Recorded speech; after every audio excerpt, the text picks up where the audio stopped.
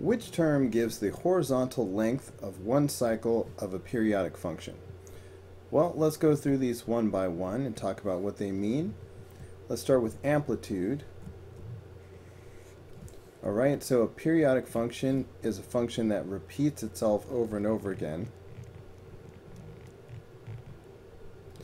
Amplitude is the distance that the function rises and falls above and below the midline. So this distance right here would be the amplitude. Okay, and that would be the exact same as this distance right here. Now, the period, the period is the length of one cycle of the function. So, looking at this function, it starts at the midline and it goes up, it comes down, and comes back. This would be one cycle of the function. So this length right here, if I were to cut it, this length right here would be the period.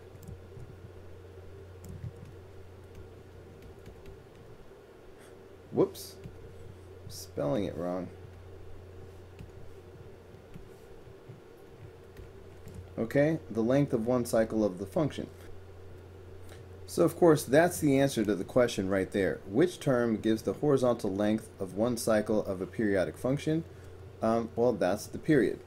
So uh, I'm claiming that this is the answer. Let's go ahead and check it. Alright, check mark means we're right. Um, let's follow through and talk about these other two things. The frequency is the number of cycles in a given period of time.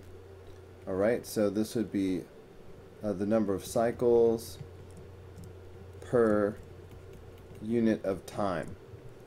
Okay, like cycles per second would be frequency.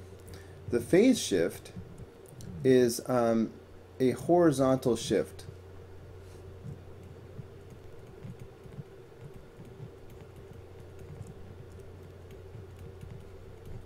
Okay, compared to the parent function. But the answer is period.